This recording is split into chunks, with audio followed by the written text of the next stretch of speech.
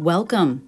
I'm Marabeth Quin, a mixed media painter, and today I'm going to show you how I made this painting as a way to push the boundaries of my work and give you three of my best ways that I do that.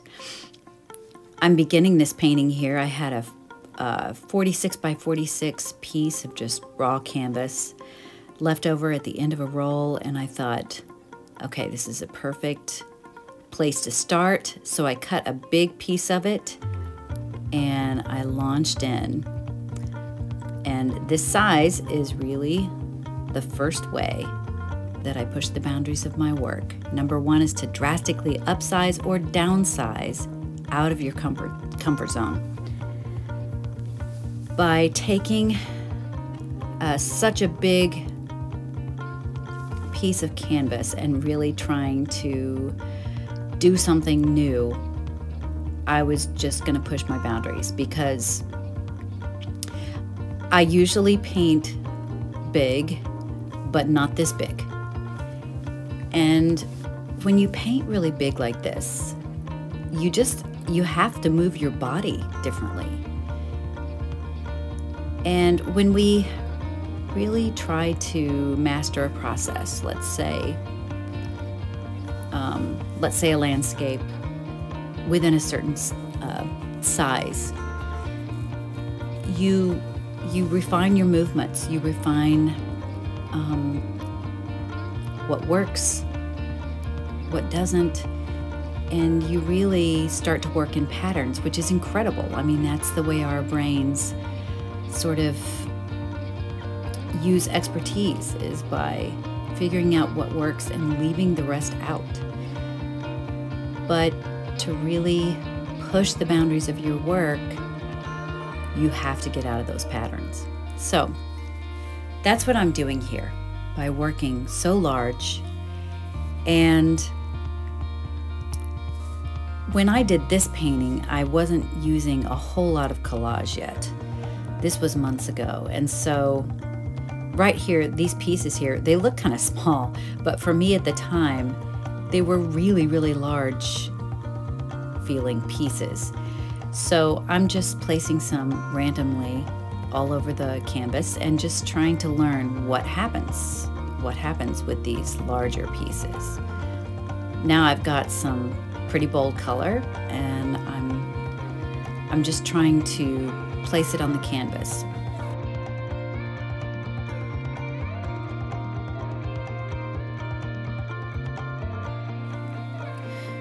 What's really a challenge for me at this point is that I keep wanting to get really locked into a destination. That's actually always a challenge for me. And I found that it really got very active with this large canvas. Like my brain kept trying to say, Where are we going? What is this? What is this marked for? What is this supposed to be? And so I kept having to just stand back and sort of breathe and remember that this was a scrap piece of canvas. I may sell this piece one day when I decide that it's completely done, or I may not. But it really was just for this purpose to push me out of my comfort zone. So, that thing that my brain kept wanting to do is really what number two is on this list. Don't decide what you're painting until it's obvious. So, since I'm trying to do something new, my brain trying to decide exactly what was going on and exactly what all this was representing was just my way of expressing how uncomfortable it feels to be out of the comfort zone. So, being this large and also deciding that you're not going to determine yet what this is is a great way to discover something new. You just saw me turn the canvas upside down. This is something if you've watched my videos before, you see that this is something I do quite frequently to get myself unstuck or to keep myself from getting too locked in. So that's what I'm doing here. Just turning it over since it's very likely that I'm going to start deciding that this is for sure a landscape and that this is for sure the horizon line and this is the sky and start representing things. And my whole point in doing this was that with my landscapes, I have wanted for quite a while to become less representational, but it was very difficult. I enjoy painting representational landscapes a lot, but I wanted to see what happened when it was only vaguely representational. But no matter how I tried, I kept wanting to lock into, oh, those are trees. And then before I knew it, they looked so much like trees that I was going in the, the other direction of where I had said I wanted to go. So right here, you see me making big brush strokes um, and trying to make marks that aren't supposed to represent anything. I'm trying to just stay with the color, um, stay with how it feels, and not decide too quickly. The thing about deciding too quickly, there's, of course, absolutely nothing wrong with it, with deciding what you're going to paint. But if you're wanting to stretch yourself, then deciding really quickly what it is you won't see the opportunities for it to be something new. But if you can manage to stay open and not make any claims on what this is supposed to be, then you just can keep painting and see what emerges. And that really, that was my goal. I wanted this painting to develop naturally and then to stand back at some moment and see something emerge and show me what it was, as opposed to me deciding. So, this is going to take a lot of practice for me. It's not it's not completely natural yet. But but I'm dedicated. And you know, it was worth this big piece of canvas. When I was a younger painter, I would have never devoted a big piece of canvas like this to my own development. There's no way. It, it would have seemed impractical. It would have seemed um, like a waste. But now that I'm older, you know, I'm in my later 50s. I I see myself doing this when I'm in my 80s. So it has become far more about the practice than it is about those other practical things like making money. And of course, you know, making money is very important. But without the art practice, you can't develop. So, my third way to push my boundaries is to grow my tolerance for unattractive outcomes and stretch that as far as I can go. As you can see here, I'm I'm just playing with collage. So I have these just clunky, chunky pieces of collage going on the canvas here. Like I said, when I did this painting, I wasn't using as much collage as I'm using today. Well, now I understand. It takes layers and layers of collage to really get the wonderful effects that I'm going for where you're just seeing so many layers working together.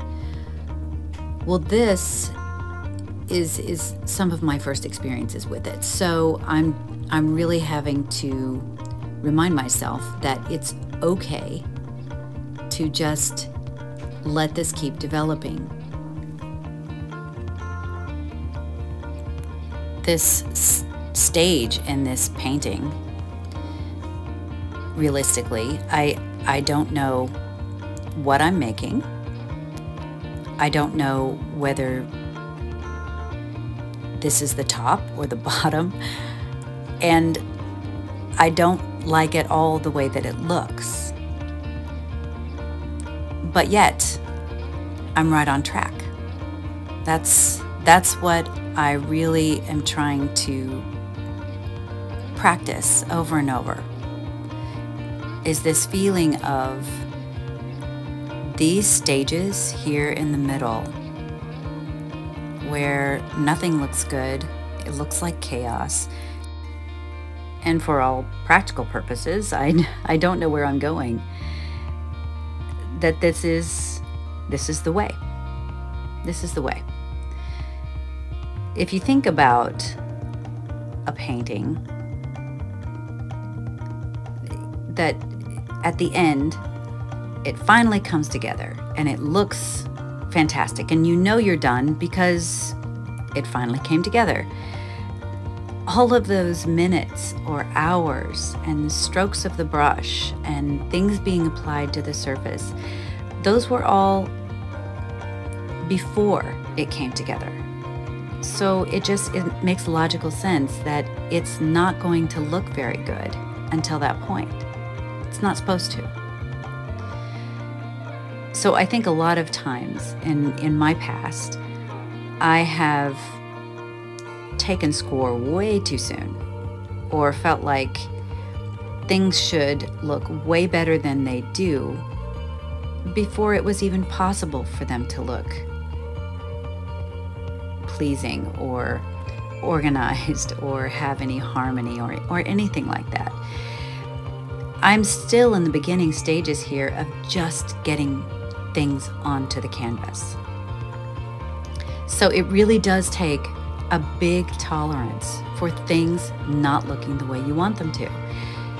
If if we feel like we should quit every time it doesn't look good, then we're never going to complete paintings and we're never going to develop as artists because that takes the whole process. It takes being able to get through all of it. So that's what I'm practicing here. Just practicing being okay with being in process. So I just, you saw that I had some tempera paint sticks right there that I was just accentuating some gold marks.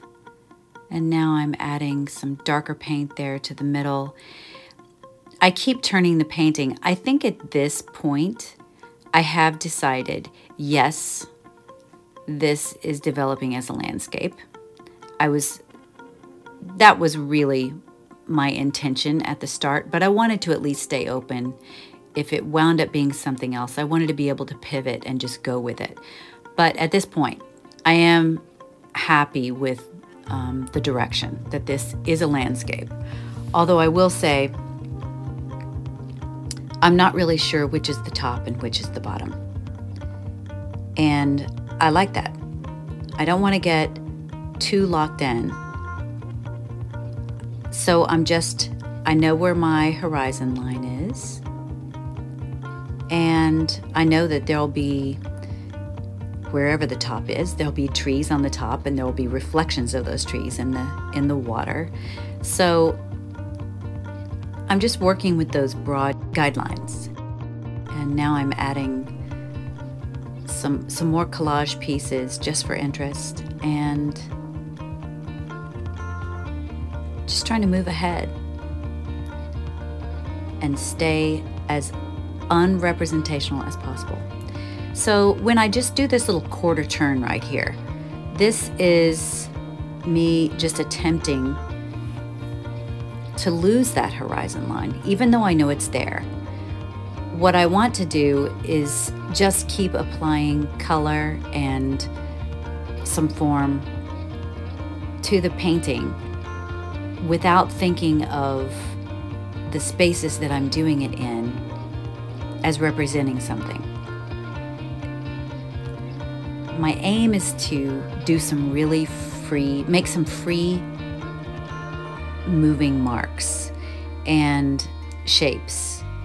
And, you know, once I decide this is where the water is, then if I decide that too too early and don't flip that painting this quarter turn like this, then I'm going to start doing water the way I've always done it, which there's nothing wrong with that. I I love the way that I've done my landscapes. But if I'm wanting to move this forward and see how loose I can get and see how how far out there I can get with um, the abstractness, and so so there is some representation, but just enough, only just enough to suggest. Then I'm I'm really going to have to do some new things. So that's why I keep flipping it and that's really the exercise of this whole painting. There's my mom and dad's dog. She'll come to visit me sometimes. My studio is in the garage of the house that we all live in. And so she will pass through from time to time and visit me. So now I have turned it again and I'm adding more of those tempera paint sticks I have a lot of links to the materials and tools that I've used in this painting. I have them in the description. So if you're interested in any of that, be sure to look there. And I've also listed, I believe, the uh, the homemade tissue papers that I'm using here. I've listed the video in which I talk about how I make most of them so you might find that interesting as well.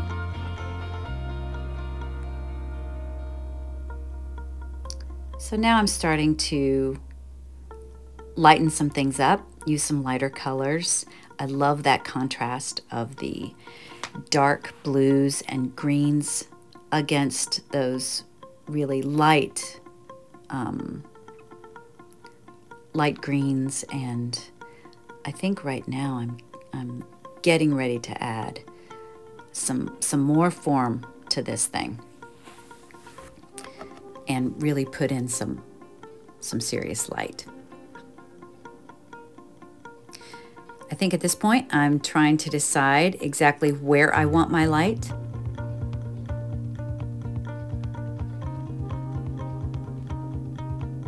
And my focal point. There we go. There it is.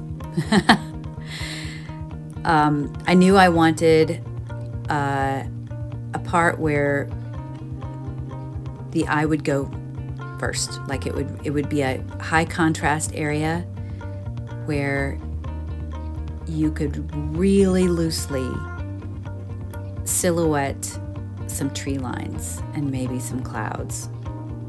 So I chose that to to the right there of the midline and I don't know if you saw me at some points, I would hold out both of my arms and move them into the middle just to really see exactly where the middle was. I, I kept wanting to make sure that I did not put anything eye catching right in the middle of the canvas. It's far more interesting when it's off to one side or the other.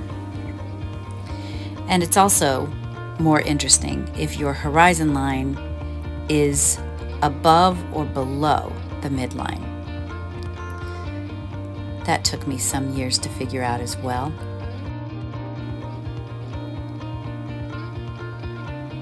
So here I'm just really beginning to define these trees and the shoreline and the light, the light on the water. I just wanted these places that were really distinct and full of contrast. Now I'm just adding a little bit of light um, in this tree line here in the back that's very vague, which is exactly what I wanted. That's why I tried to wait as long as I could to determine what everything was because I just wanted to do a landscape where they didn't look exactly like trees you had to use your imagination to really fill in the holes in this painting and, and that's that's exactly what I wanted.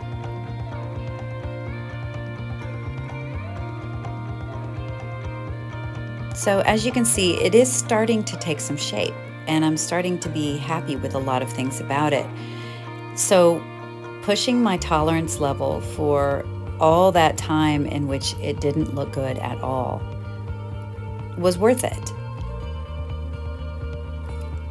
It actually did take me a lot of years to realize that the only thing standing between me and some paintings that I really liked was this tolerance level. If I couldn't get through the, the formative stages, then I would never get a painting that I really loved. So that piece of collage is bothering me. So there I am with my hand. I'm, I'm sort of covering it up to see if I need to try to get rid of it. It was, it was just distracting me. So now I'm trying to tear it away, which is being very stubborn. So once I tore away what I could, then I, I kind of liked the effect of it there. And I just tried to put some paint over it here and there. You can still see it shine through though. So now I'm just lightening up that sky there. And I'm looking at my color wheel to really decide for my pops of color, what color do I want? I want, I want to just add some color here and there that's really going to pop. So I have chosen first some dark sort of brick reds and now I'm I'm choosing some um, a little bit of a pinkish red there to put in the water. And eventually I put in some bold red marks, just straight up red. So here's some close-ups of what is going on on that surface. As you can see, it's it's a lot of collage still showing through. When you get up close, it doesn't remotely look, really look like a, a landscape which I love. But when you do pull back, you get to see um, the slight representation of a landscape there. Uh, this was exactly what I was going for. I'm not sure if it's done or not, but I'm happy with my experiment. I learned a lot with this painting and I'm taking away a lot from this painting and carrying it into other paintings that I'm presently doing.